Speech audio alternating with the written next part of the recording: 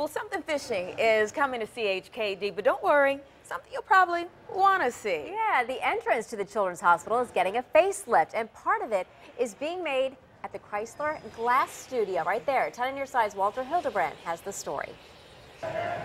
It may look like gooey caramel, but these are no candy makers. They're making sweet creations, though, and they like it hot. The furnace itself runs about 2,000 degrees constantly. And it's all glass. It's a great material. It's, uh, it's mysterious, it's strong, it's fluid, you can break it.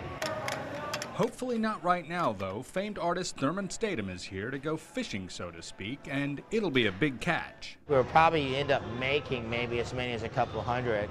Fish. Going from paper to furnace, they'll soon be swimming upstream to CHKD, where they'll be part of a facelift to the entrance of the Children's Hospital. There's so many doors that are being opened, I pray, by this project. And with the precision of a NASCAR pit crew, the squad at the Chrysler Glass Studio is shaping, blowing, crimping, and burning.